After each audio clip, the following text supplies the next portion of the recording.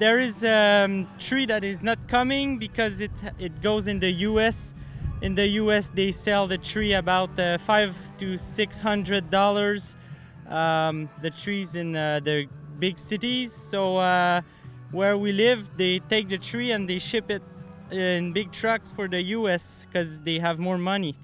No, we're not selling less trees, but we're having more the comment, oh, it's expensive because they often they go somewhere else and they come back and we say, yeah, it's expensive, but it's the less expensive we can see.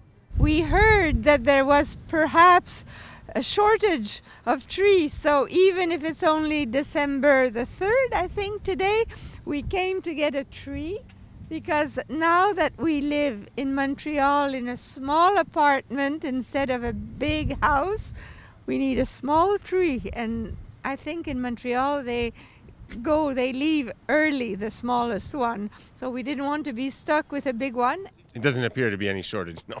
I don't think here would be the place to have to see the shortage, though. I mean, obviously I'm no expert, but I think these guys maybe they might be their own farmers. I don't know if they bring their own trees. I'm not sure, but it doesn't appear that there's a shortage this year in comparison to previous years, right? We've been always, we come here every year and it seems to be the same. We live in Lachine and we went to the Lachine market. Usually there's a lot of trees that was empty, no trees.